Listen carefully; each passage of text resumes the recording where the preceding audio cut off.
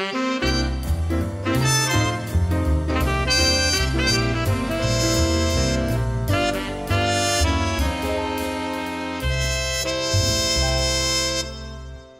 Meet the Biz time. We are here with uh, a really amazing guy. I mean, he is a two time Emmy nominated producer.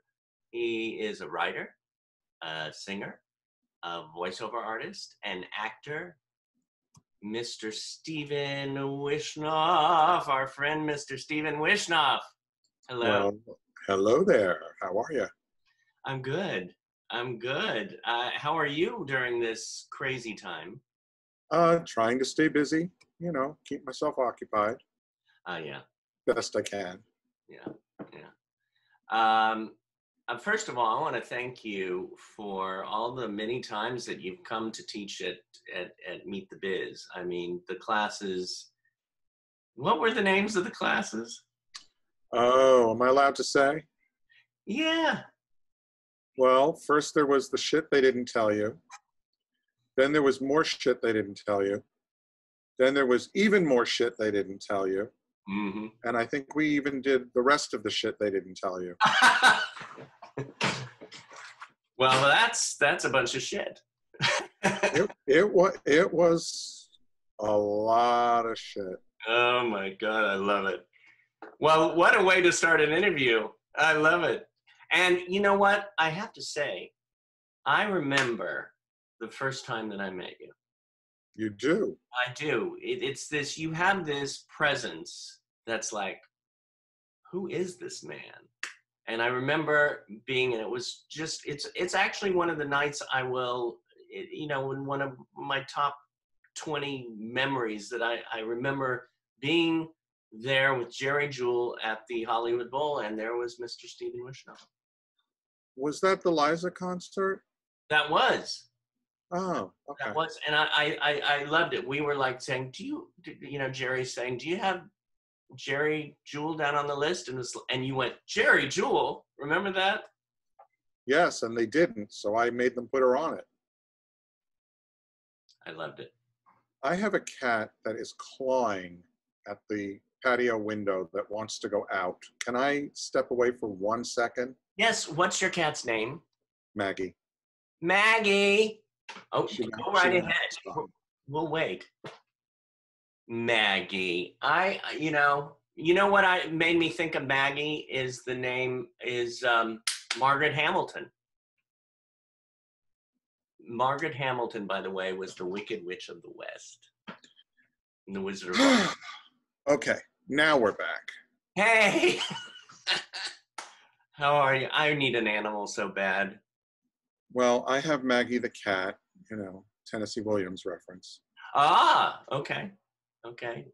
We all have our references to names. What a Tennessee Williams.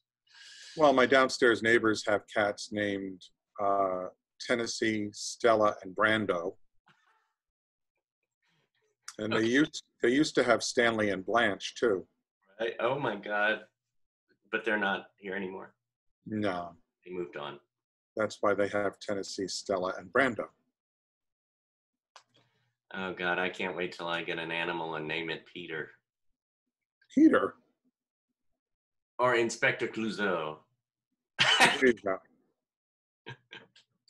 oh my God. You, since we were talking about the Hollywood Bowl with Liza, Uh huh.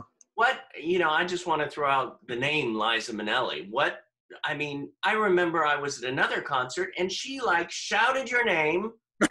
Stage Yeah, i was like i love this. What's that was a, a different year at the Hollywood Bowl. It was my birthday, and she wished me a happy birthday from the stage in front of 18,000 of my dearest friends. i i i i know. I was there. I was going my god how did you meet liza? What's your connection? I've known Liza since the 90s. Um, let's see. How do I explain this? you know how every actor has a survival job, or, Oh. or at least you hope. we, we hope Mine uh, was in the piano bars in New York City. I used to sit behind the piano and carry on like a madman for eight or nine hours a night. And Liza was friends with another friend of mine, or actually several other friends of mine. And she used to come in to the piano bars and hang out. Sometimes she'd sing, rarely, but sometimes. And I got to know her. And um, in particular, one night there was an after hours piano bar, which meant in New York, that means it didn't open until five o'clock in the morning. Um, well, the bars in New York are open until four. So by the time you finish a shift and you go to an after hours place, it's 5 a.m. Yeah. And you have your dark sunglasses at the ready. Um, but there used to be a place called the Five Oaks. It actually was a speakeasy in the 20s. And you would go down these narrow stairs to the basement of a building at Grove Street in Hudson. And, um, or West, was it West 10? Anyway, it was the West Village of New York. You go down the stairs, and Marie Blake, who, when I first met her, had to have been 80 years old, but played the meanest stride piano you have ever heard and could play anything, uh, was at the piano. And my friends waved me over to a table in the corner where they were, and it was very dark. It, good thing it was dark. You really don't want to see what's in a basement in New York. And um, I felt something at my leg under the table.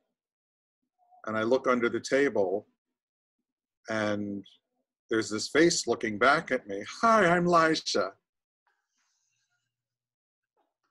So wait a minute. Her face was looking up from under the table. Well, because she had dropped her cigarettes Oh, back when she used to smoke. right. This was a long time ago. And, um, you know, I've known her casually since then, over many, many years in New York. And then um, out here in Los Angeles, I was still working in New York and commuting, working for TV Land, and we were producing the TV Land Awards. And Liza, who played Lucille 2 on Arrested Development, um, presented the show Arrested Development with the Making a Future Classic Award. So I got to work with her then as well. Fun. And that's how I know Liza. I love that. And that what a great song. I've never heard that story. And and the way you described it about being in those bars, the piano bars, and I just saw you there playing the piano for people and and singing your own songs and And carrying on like a fool. and then you brought up you brought up that you produced the TV Land Awards. Well, I was the producer of the online segment. Got it. Very nice. And um, because Liza was presenting, that was an important thing. In fact, I have somewhere, I have video footage of her showing Gary Coleman, her father, a book with the cover of Gigi. Um, it was a book about war, uh, costume and wardrobe in classic television, uh, classic film. And I have video footage somewhere of Liza going, Gary, look, this is my father's movie. oh my God, that's wonderful. Yeah. The He was more interested in the gumballs. the wealth of stories you have through your career and life. I suppose that's true. Have you Yeah. thought of writing a book? I've thought about it. I kind of started doing it. Then I stopped doing it because other projects, you know, take precedent. Yeah. Um, there's no shortage of stories, that's for sure. I mean, there were people I was even calling to ask their permission to reference them. Yeah. You know, because I don't want to do that without telling somebody. Uh, I mean, if it's somebody, let's say, famous with a household name, I don't necessarily ask them if I can mention them. All right. Um, and anybody that I would mention in a negative light, I do not use their name at all. Right. You know, it's All I. I think that's bad form. Yeah. Yeah. with certain exceptions. Ah, okay. Well, you know, bouncing off of Liza to to the film that everybody loves. Um, I use every year. I would watch Judy Garland go down the Yellow Brick Road to the Land of Oz.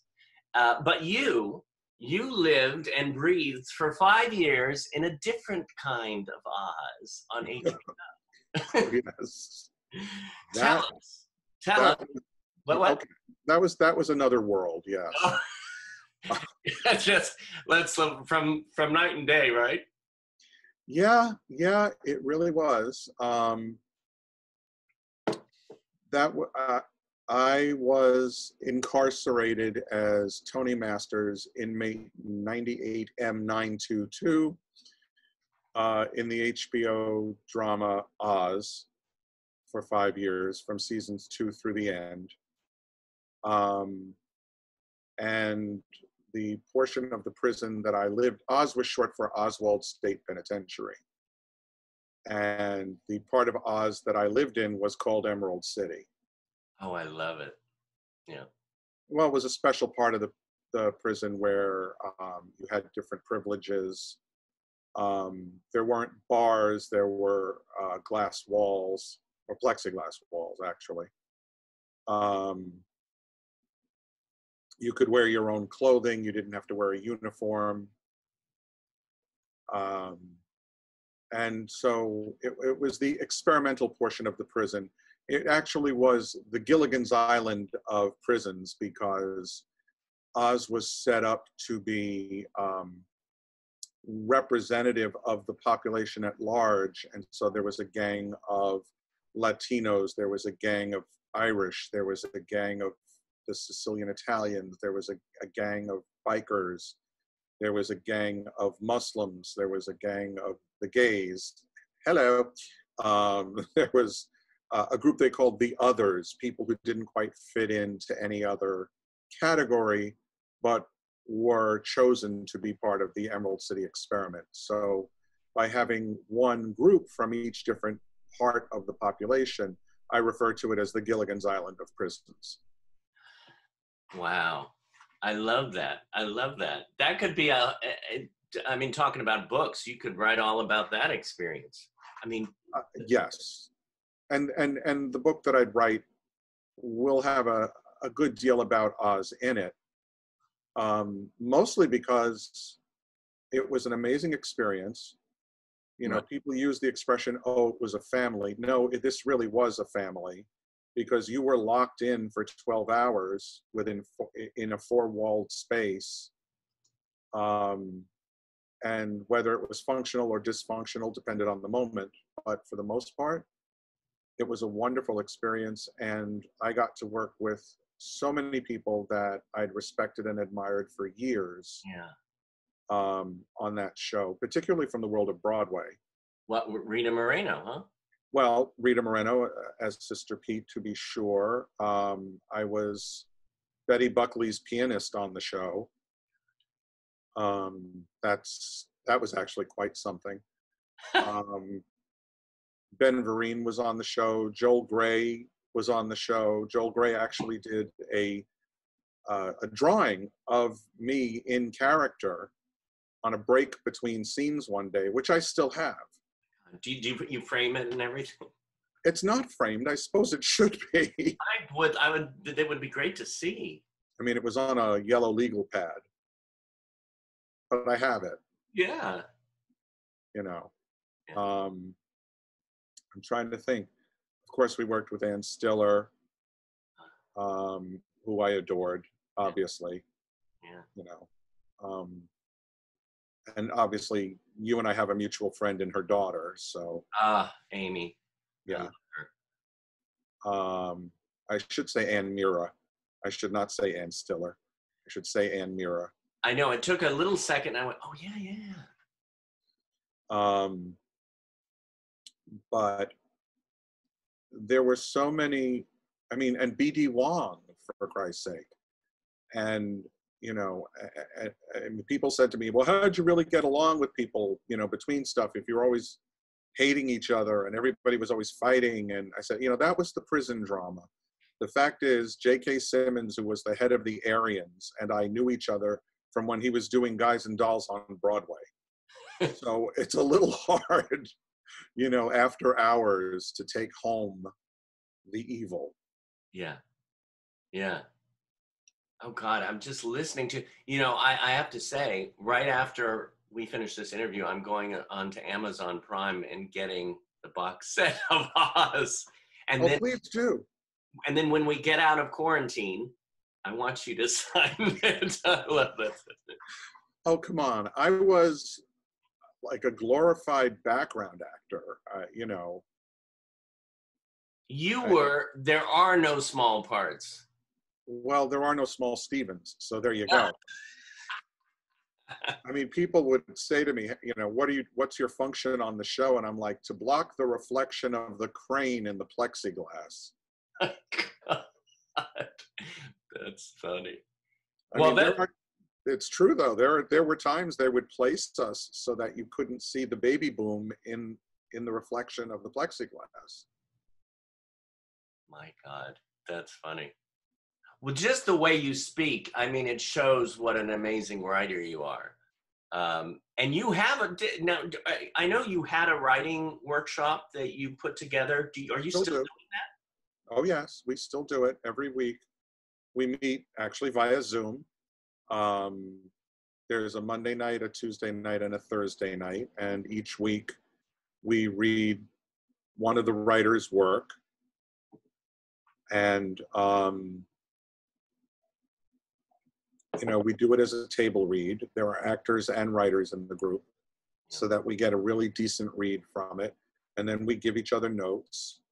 And the writer goes off on their own and cries in their coffee and fixes what they need to fix. Right. Right. Or not. You know, it's all personal preference. Right. Well, you were also the writer, what, for the LA Emmys? Yeah, I did that for five years. Now, what what is it about writing that you love? Making something up where there was nothing before. It's the same thing I like about acting. Uh, you know, to quote Sunday in the Park with George, look, I made a hat where there never was a hat. I love that musical. What a good quote. Yeah, well, you know.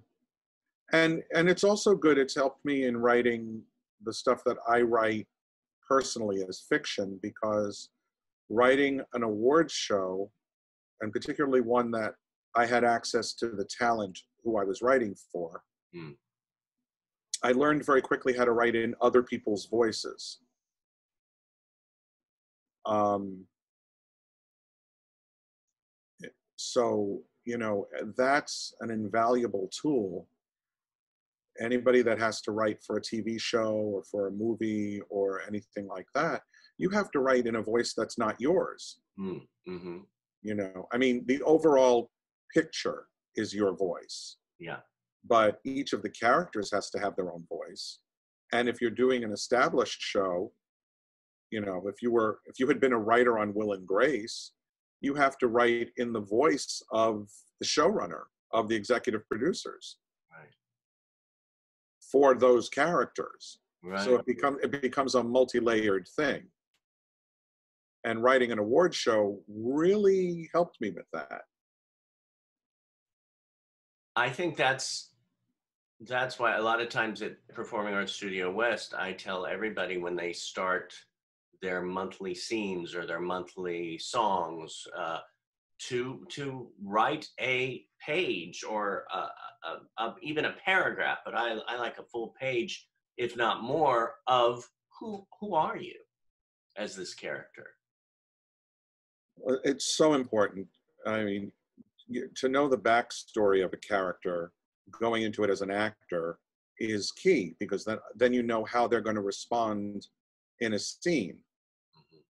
Um, obviously, if it's a full length work and you get to read the whole work, so much the better but you know even for example mm.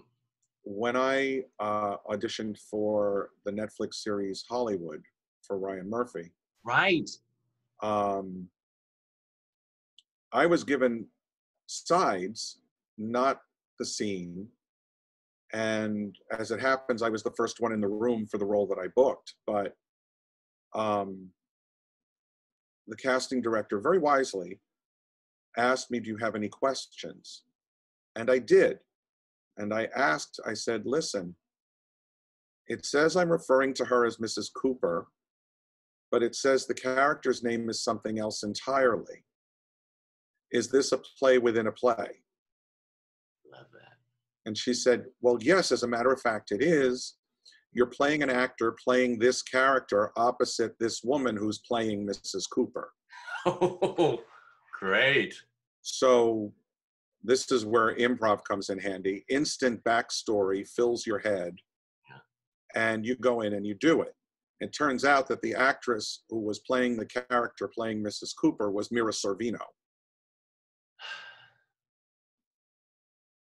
And let me tell you, Mira Sorvino in improv, oh, she's spectacular. Oh, how wonderful to work with her. Yes, yes, it was. It was, delight, it was a delightful experience. Well, that whole set, the whole crew, everybody from my director on down was delightful. Well, that's the number one hit show right now. Everybody's like watching it in quarantine. Well, I hope they keep watching it. Go back and watch it a second time. And a third time. At least. Maybe there'll be residuals. oh my God, wouldn't that be nice? I don't Um, know how it works on Netflix, so I couldn't tell you. uh, um, talking about producing and Yeah. writing, uh, you created uh, and uh, executive produced the wonderful web series um, Life Interrupted with a star-studded cast. Yes, I did. Um, Life Interrupted was quite an experience. Yeah. I ended up writing it, producing it, directing it.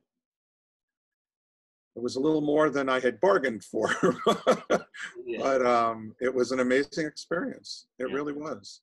And what a cast! I I couldn't ask for better. Oh my God, Mason Reese, um, uh, Alison Arngrim, who we had here uh, a Mhm. couple weeks ago, Dawn Wells, Erin Murphy, Michael Learned. Yeah, and Brandon Cruz and Robbie Rist, and yeah, it was it was quite a collection of friends, to put it bluntly. That i- i- if we had not all been friends, I don't think it would have worked. Right. Why? Well, professional is professional is professional. And as you've heard me say in workshop, and I will say it here, the three things you always need to be are prepared, prompt, and professional. And these people are all professionals. hmm But the fact that we were friends gave us a little bit of latitude in that we were all focused on getting out what needed to get out and to do what needed to be done. But we were on an insanely tight schedule. I mean, I had two days that were 15 pages Oh my God. because we were going to lose the location if we didn't finish in time. And damn if we didn't do it, and I, we were out on ex- at exactly the right minute of the right hour, both days. Yeah. And it was because you know friends had each other's back. We were all, nobody pulled any diva trips. Yeah. Everybody just did what they needed to do, and so it became a lot of fun. And if anybody wants to watch Life Interrupted, they can find it on YouTube. Yeah. Um, there's the full half hour version um, is available to watch, as well as, gosh, all the promos we did for it and everything else. So that's there. But yeah, it was a wonderful experience. And even how that came along, uh, Mason and I met full circle working on the TV Land Awards Hmm. he was there as a child actor who had been a child actor uh, as a commercial spokesperson. He was best known for Underwood Deviled Ham in the 70s. Yeah. And he and Rodney Allen Rippy, who was best known for Jack in the Box, Yeah. um, we made them do an interview together as though they were having a Biggie and Tupac East Coast West Coast feud right. um, which became very funny. And um, Mason and I stayed in touch over the years, and I guess it was 10, 11 years later, I got a call from him one day and he said, I'd really like to get back in front of the cameras, something scripted, but I don't know what I should do. What should I do? And my answer was, I don't know. I haven't written it yet. oh, I love that answer. It's you have that gift of making things happen. I suppose I do. Um, you know, thanks, Barbara Eden. da, da, da, da, da, da. Yeah. And I used to play that in the piano bars too, but we do it with the lyrics. Oh, and what a voice you have. Well, thank you. I there, there there's one in there. I am what I am. Starts much lower than that, but thank you. I. well, you did that show. You were the lead in that show. Yeah, I've I've done La Cage a couple of times hmm um, as Albin, and uh, would happily do it again. Before I'm 107. well, and I would love to see it live and on stage. So would I. hmm So would I. What made you become a member of the diversity committee? And what At the- At the TV Academy. At the TV Academy? Um, well, someone I know uh, was one of the governors at the academy, and this this was at a time when um, it was just before Oscars So White really exploded. Hmm. Everybody was feeling there was a lack of diversity in representation in film and television. Yeah. And I was approached because they knew that I had done a lot of work um, over at the LGBT Center for LifeWorks, the youth program, Yeah. and um, was actually involved with Outset, which is the LGBTQAI LMNOP um, uh, student film project. Yeah. Uh, I was there for the founding of that. And I was asked if I would like to be a part of this, and I said, certainly. And I ended up producing several very large events for them. Um, I did uh, the business of being LGBT with uh, that one was with Alec Mapa, Geri Jewell. Geri Jewell, and um, Chaz Bono. Yeah, I love that one. And I did one LGBT above and below the line in prime time, um, hosted by Bruce Vilanch with Billy Crystal uh, as our premier guest. But that was a panel of thousands because I actually said, I want at least one of everything on that stage. And it wasn't that hard to find. There, you know, we had we had an actor model who was deaf. Right. We had people of color. We had people who were L, G, B, T, and Q. I don't know if they were I. I didn't ask. Yeah. None of my business. It's none of my business what anybody is. But if you're going to put it out there, and I'm doing an event that needs you to Yeah. represent, I'll call you. And Bruce hosted for me. Um, another one I've known a million years.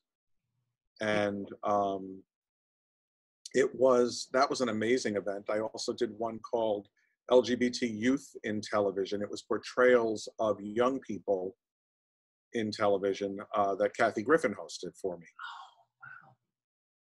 So I, I did a lot of large events for her for that.